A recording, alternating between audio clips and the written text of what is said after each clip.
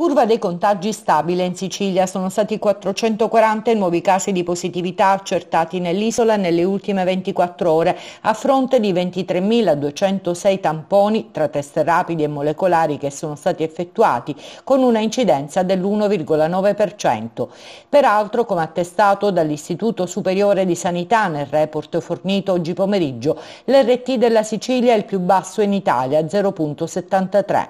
Non accenna a diminuire il dato dato dei decessi. Anche oggi ci sono state altre 22 vittime del coronavirus nell'isola, mentre i guariti sono stati 1853.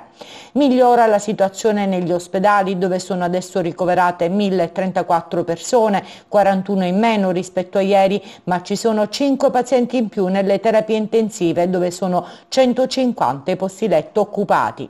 In Sicilia gli attuali positivi sono 31.569.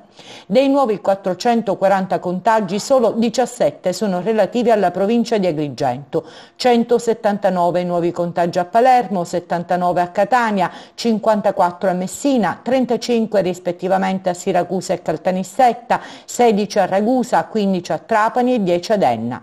Intanto da domani in Sicilia parte la vaccinazione degli ultraottantenni che sarà effettuata parallelamente alla vaccinazione del personale scolastico e delle forze dell'ordine.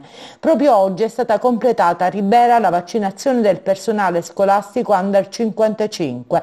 Lo ha evidenziato l'assessore comunale all'istruzione Leonardo Augello. Tra ieri e oggi sono state somministrate le prime dosi del vaccino AstraZeneca a tutto il personale in servizio negli istituti scolastici di Ribera.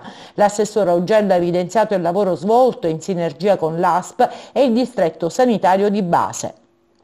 In tema di scuola, peraltro, è arrivata l'ufficialità. Anche quest'anno per l'esame di maturità ci sarà solo la prova orale, a partire da un elaborato che sarà assegnato dai consigli di classe sulla base del percorso svolto. Elaborato che riguarderà le discipline caratterizzanti ciascun indirizzo di studi. L'ammissione all'esame di maturità sarà deliberata dal consiglio di classe. Il credito scolastico avrà un peso fino ad un massimo di 60 punti, mentre mentre il massimo punteggio per l'orale sarà 40.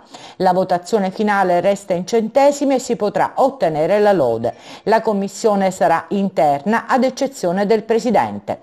Gli esami di maturità inizieranno il 16 giugno prossimo. Anche l'esame degli studenti delle terze classi delle scuole medie sarà solo orale.